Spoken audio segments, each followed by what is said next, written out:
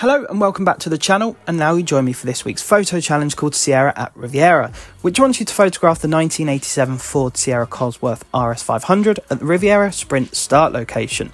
So first of all we're going to look at the car. So this is a 1987 Ford Sierra Cosworth RS500 and it will set you back 66,000 credits from the auto show if you don't own it already. Now for the Riviera Sprint location, this is located near the northeast side of the map at the top of Copper Canyon, as you can see here. So what you're going to want to do is head over to the start location, which is where this icon is. Now once you arrive there, all you do is bring up your camera, take a Horizon Promo quick shot, and it will pop up with two tick boxes. One saying you've got the, the Ford Sierra Cosworth RS500 in the photo, and one saying that you've taken the photo at the Riviera Sprint start location, and that is as simple as that, and that will be this week's photo challenge complete. Now, hopefully, this guide has helped you out, but if you're struggling with this challenge or any other, then please do let me know down below in the comments. I would be more than happy to help you guys out. If it did help you new to the channel, I'd very much appreciate if you could subscribe and dropping a like massively helps me out as well.